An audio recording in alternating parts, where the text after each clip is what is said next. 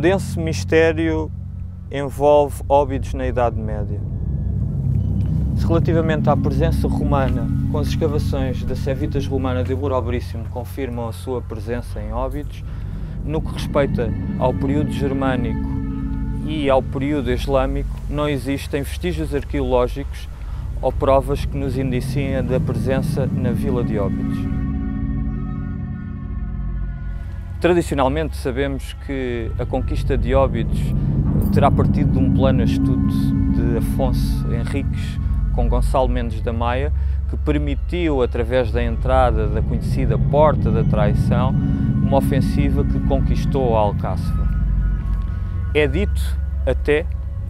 que grande parte daquilo que hoje nós vemos de Óbidos se deve exatamente à reconquista cristã e ao papel que os primeiros reis de Portugal têm na formação da própria vila. Se da herança islâmica temos aquilo que poderemos definir como o sinuoso circuito das ruas, a privação do espaço uh, urbano e a fórmula como uh, a vila foi uh, caminhando para sul, no que respeita à nossa herança medieval, é sobretudo com Dom Sancho, Dom Dinis e Dom Fernando que hoje temos esta cintura da muralha que podemos observar. É graças sobretudo às colegiadas que no final da Idade Média existiam na Vila de Óbidos que